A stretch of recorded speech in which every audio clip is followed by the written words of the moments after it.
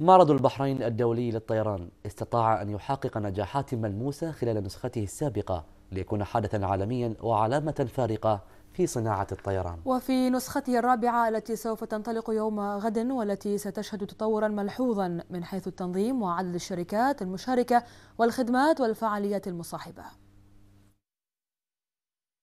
عندما تم تدشينه في عام 2010 كانت الأمال تتجه نحو تحقيق سمعة عالمية في إقامة مثل هذا النوع من المعارض وكانت الطموحات تكبر كل عامين في جعل هذا الحدث يترك بصمته بقوة في عالم الطيران. معرض البحرين للطيران الذي أضحى اليوم حدثا عالميا يستقطب كبريات الشركات العالمية. في هذا القطاع أصبح ينافس معارض في الشرق الأوسط والعالم وأصبحت له أهمية في صناعة هذا القطاع.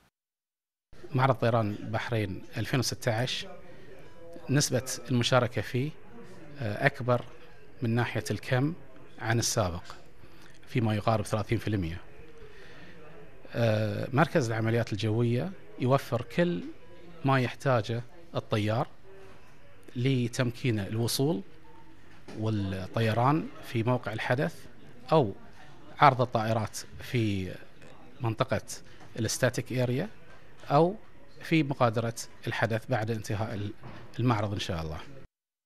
غدا ستنطلق النسخة الرابعة ليعود ويقف في دائرة الضوء العالمي ويظهر قدرة وجهود مملكة البحرين في تنظيم وإقامة مثل هذا الحدث. فالنسخة الرابعة تتميز بزيادة عدد الشركات المشاركة وتوسعة المرافق الخدمية والترفيهية. المعرض يتطور أكثر فأكثر وقاعدين نشوف آه، يعني الاهتمام الدولي للمعرض آه، الشيء اللي خلى معرضنا شوي مميز بالنسبة عن المعارض الأخرى.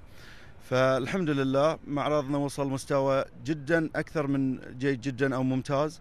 آه، بفضل قائمين عليه طبعا سمو الشيخ عبد الله بن حمد آه، آل خليفة والقائمين على هذا المعرض.